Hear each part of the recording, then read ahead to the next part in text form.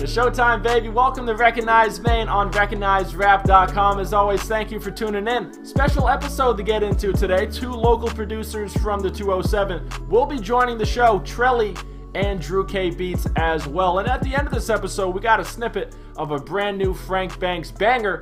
Can't wait to get into that. Stay tuned. But first, Trele, want to welcome you to the show. And I was just recently listening to High Honors the Mixtape, the collaborative project you dropped with Zaya about four years ago. So looking back, what does that mixtape mean to you? It was cool. Like Zaya was like the first kid in Maine I linked up with and actually like worked on music with like heavy. Like we worked all the time back then. So it was cool. It was like my first like real project I ever did. It was definitely like a a good like kind of starting like rap project to really see like how how shit actually worked and you know. So how has your sound evolved since that time? Because like i said that was four years ago and i know recently you've been experimenting with some different genres. Yeah it's evolved like crazy dude. I went from trying to be like lex luger and like young chop straight like trap beats to now i kind of i dipped more into the edm world kind of more of electronic music experimental music so it's changed a lot. Like I don't even really make beats like that anymore, but I still got a few in my bag. All right. Now, thinking of the songs you did produce, you know, as far as rap songs in Maine, do you have one in particular that stands out? Because for me, my personal favorite that you produced is by J Star Hefner called Rollin'. I love that song, man. Do you have one that stands out for you? Well, honestly, that J Star one is probably one of my favorites because, like, I made that beat so long ago before I even, like, thought about giving beats to rappers. And, like, that shit was just that came out so fire. But um, the song "Faces" I have with the uh, kids in Flower Shop, uh, like Rody, THT, Duro, Griot, whatever you want to call them. That's probably my favorite one that I've made with like Maine people because it kind of all just like clicked together super well and. Uh, we like re- we did a live show with it before it even was like fully recorded and it was just so turned up and we are just like yeah this is the song so that's probably like my favorite one I've done. And I co-produced BC, who's a, another producer in Maine, co-produced that one with me too. All right, yeah. I don't think I've heard that one actually. I might have to check that one out. Um, one thing I gotta ask: Are you normally sober when you produce music? uh, I mean, it varies. Yeah, it definitely varies. All right. Now, the reason I asked is because you got some really weird song titles on SoundCloud. Just name a couple. Uh, one of them's called "I Went to Spain like two years ago. It was cool." Another one's called The Devil Came to Me and Told Me to Drink More Vitamin C. So, how do you come up with these song titles? Man, that's just like how my brain works. Like, the Spain thing is real. Like, when I made that song, I had gone to Spain like two years before that. And, like, it's, I don't know, just like things pop into my head and I make them song titles. All right, now let's talk about Fur Boy. Is that who is Fur Boy? Is that your alternative stage name? Yeah, yeah, yeah. I go by both the same thing at the same time sometimes. It's pretty much whatever you want to call me. It's funny, people like there's some people now that only know me by Furboy and don't even know that I'm Trele, which was my plan all along. So I'm glad it's working out.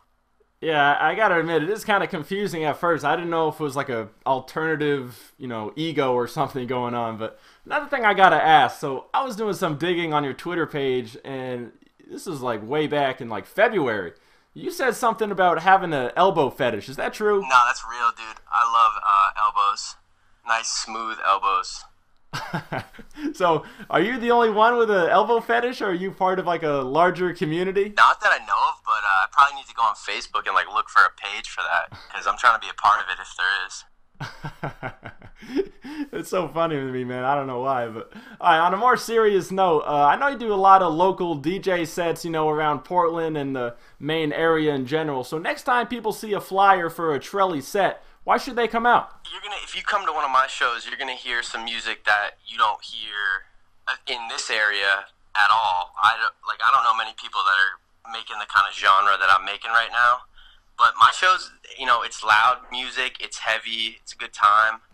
Um, it gets pretty turned up in there when I drop some some of my songs. So it's just a good time if you want to hear some music that isn't common, isn't just like boom bap, like hip hop or like vocal, like you know, mainstream rap. Like it's uh, it's pretty different than what what's around here right now. Yeah, yeah, for sure. Right now we're about to play one of your new tracks. It's called Second Place. So you produced this one as well as sang on it as well. So let's run it.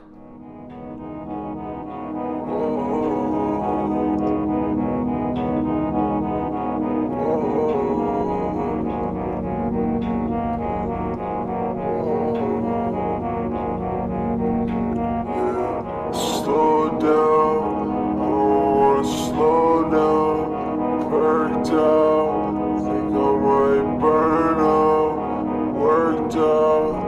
I be so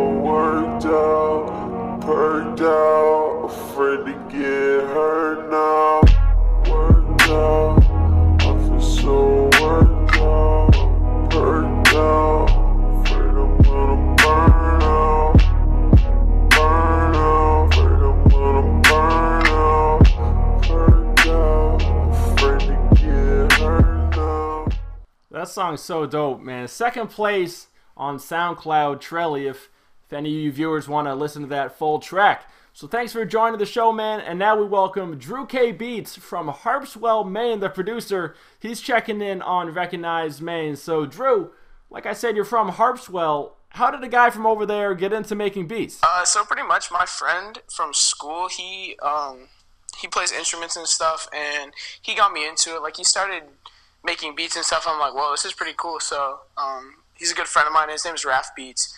Uh, he's pretty good too. Um, but I just pretty much started. I used what he was using, and then just went from there. And that was about like a year and a half ago. Okay, so what equipment do you use? Is it FL Studio? Yeah, FL Studio 12. Um, I don't use a MIDI keyboard or anything like that because I can't really play piano, and um, you don't really need one if, if I'm being honest, you know. Um, and then there's all the plugins and stuff, which that's like the real money, like the real expensive stuff is all the plugins and sound banks. Yeah, when I was in high school, I honestly tried to be a producer myself. I bought a keyboard, I bought FL Studio, and I was trying it out for like a couple months, but I just quit eventually because I wasn't good at it. yeah, I mean it takes a lot of learning and stuff. And I see a lot of people they try to get into it for the like quick cash or quick money. Like they see me making money, they see other people making money, and they're like, "Oh, if I do this for like a month, I'll start making money." But it doesn't work like that. Like it took me about a year to really start generating income and like making money off this stuff. Yeah, so you got your website, drewkbeats.com. So how's business? Uh, it's actually doing really good. I've um even today, my friend just released a new track, and that's like um, each like new single that comes out with someone on my beat is like two hundred dollars right there for me because like an exclusive um, can go anywhere from like two hundred to like five hundred dollars, and I've also been working on a couple collab albums with certain people, and that's also some big money. Like um, my friend Bass Shinobi, we're working on a collab album, and that's pretty much a grand to me. Yeah, wow, a grand and 500 for a song. That's major right there. So, aside from being a producer, do you have a dream job? Honestly, I've kind of like thrown everything aside for like producing and stuff. Like, I can't really think of anything. I just really want to make beats and like get some big songs and you know be able to support myself. Yeah, man. Well, you're on your way and just keep going, and you never know what could happen. And right now, we're about to give the viewers a taste of what you're capable of. Let's play one of your beats.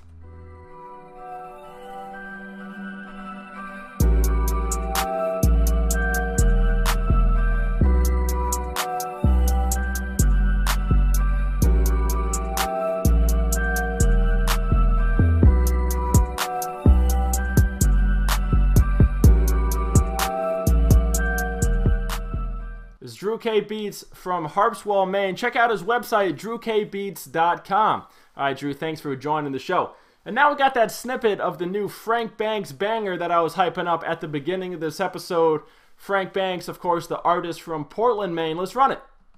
I'm jugging, rolling, moving parts. Yeah. Stripping, droppers, doing more than the. I'm slipping, tripping, lying there, trying to drive. Bro, so bad, she roll it out, she not so shy. Said she into me, she let me do it right. right, right. All on side, make her dream her life. Fly, bitch, I'm high, smoking indoors. I'm luxury like a car fridge, I make it nice. Uh.